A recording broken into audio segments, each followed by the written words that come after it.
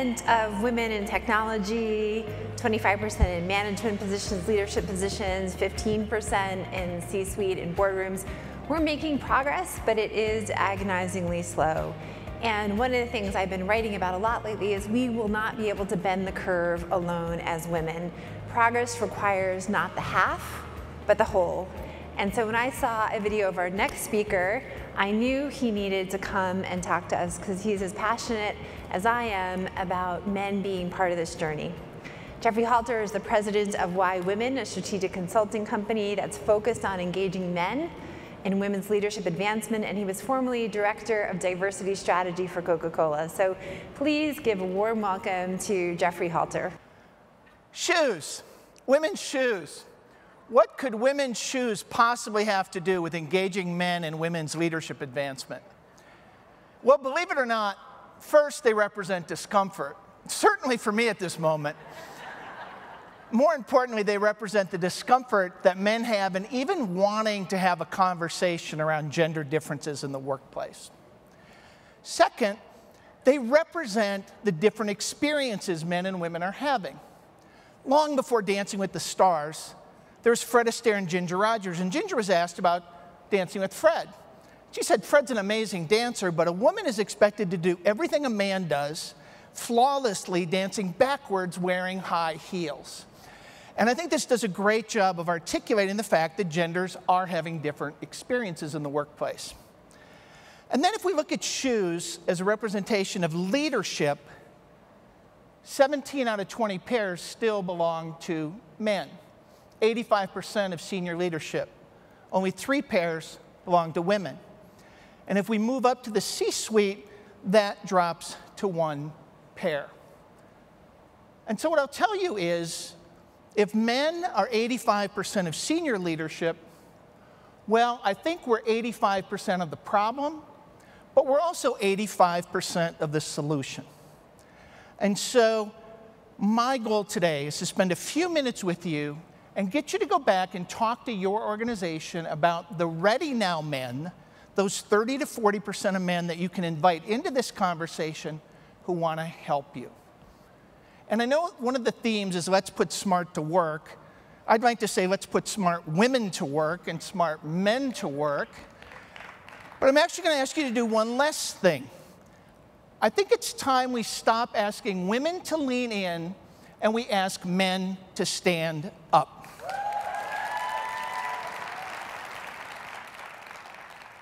This is not a women's issue. We've heard this. This is an organizational issue.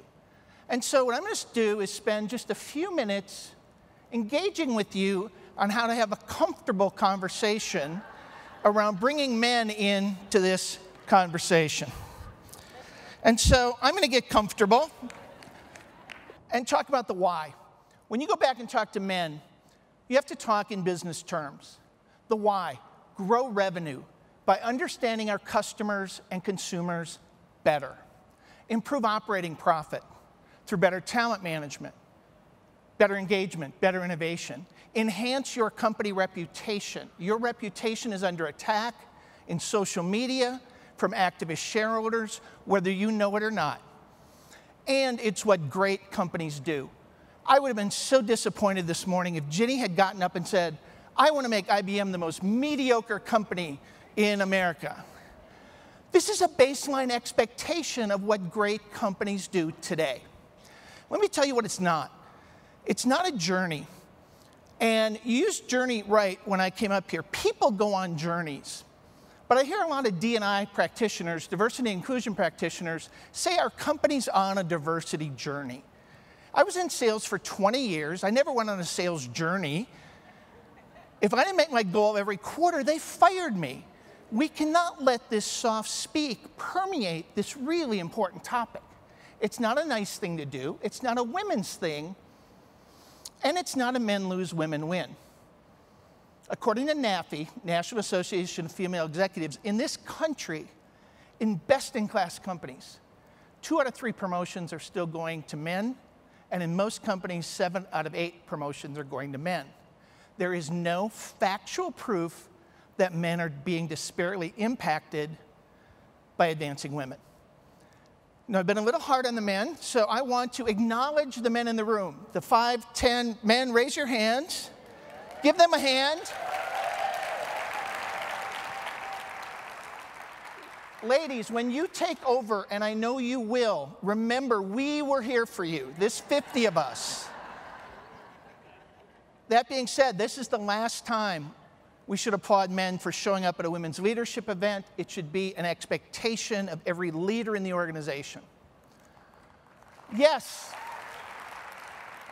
And I don't mean to pick on men, but as a business person, this is where the opportunity is. Mercer did a report 3 million employees globally, and they said which employees are the least engaged in diversity and inclusion initiatives.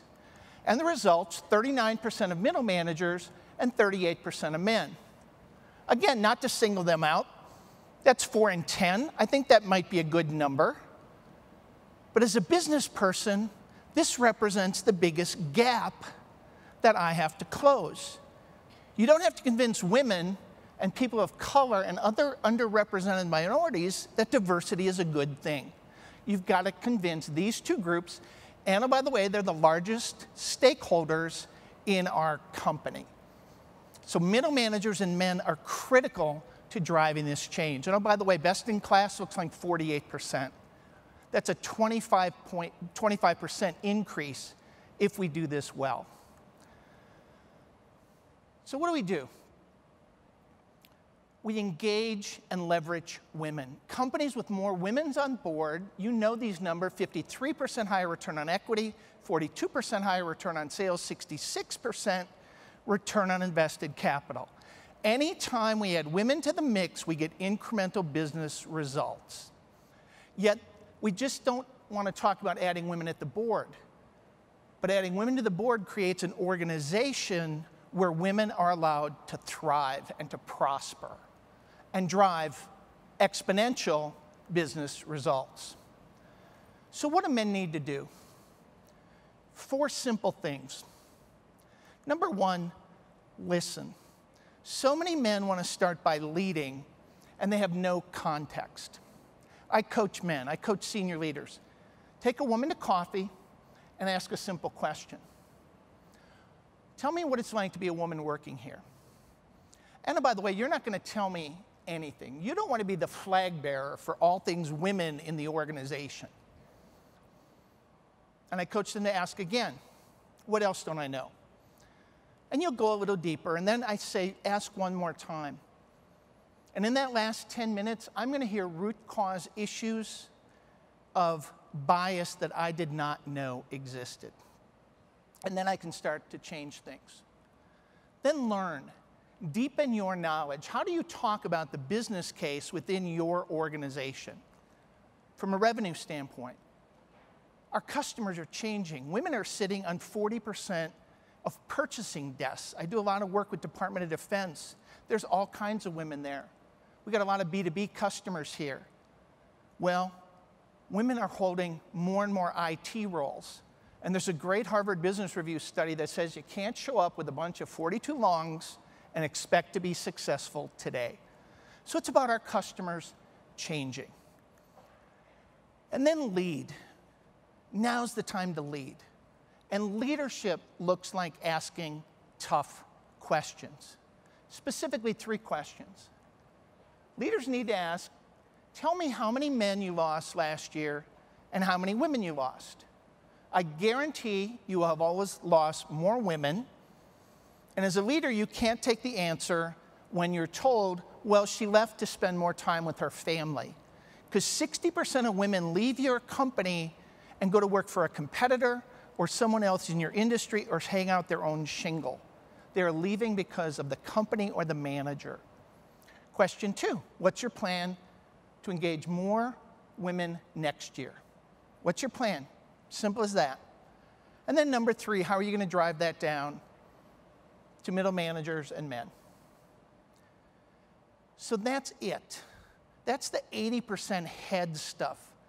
You're in a data business. It's about facts, it's about data. This is how we engage men.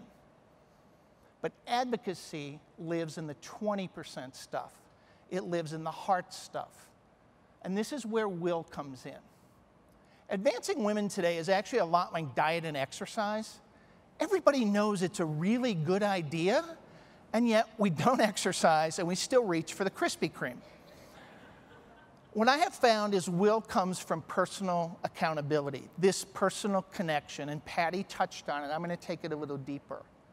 It's men and women realizing that if we're not advocating for women today, we are betraying our daughters' futures.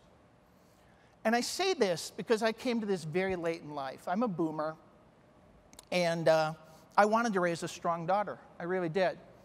I encouraged her, whether it was soccer or art, music. I made sure my daughter went to a great college. And when my daughter graduates and makes 83 cents to my son, when my daughter is faced with the biases that I know exist in my company, when, when my daughter has to face Ron down the hall, who I know is a sexist, biased uh, individual, I choose to do nothing. I choose not to advocate for one of the most important people in our lives. The way we're going to drive long term systemic change for women is to get a bunch of angry fathers to realize the responsibility that they have. Yes, thank you. So, what does it look like? It looks like pledging your commitment. Please go to my website. There's no fee for this. Download, advocate, download the Advocating for Women initiative.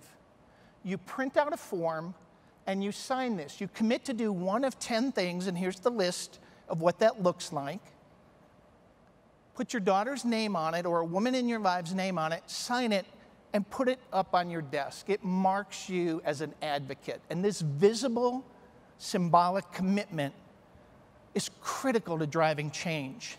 And that's how we're going to drive change in this organization and in this company. And it's how we're going to make more money. And it's how we're going to be an employer of choice. So, with that, I want you to leave thinking about shoes not size 14 red pumps, but all the shoes that our daughters are going to wear and the women in our lives are going to wear.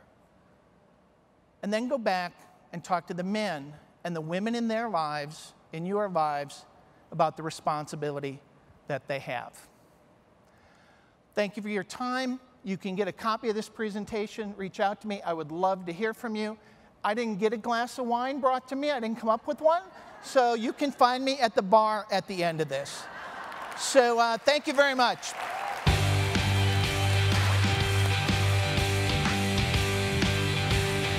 That was awesome. That was awesome. Thank you so much. And I love the practical advice. This is a journey all of us can take together, which is what makes it so enriching and rewarding for my daughter and also for my son.